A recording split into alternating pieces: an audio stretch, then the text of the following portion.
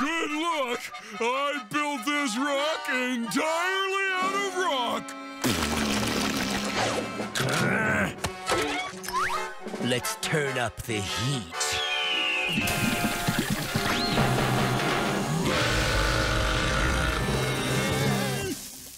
They just don't make rocks the way they used to.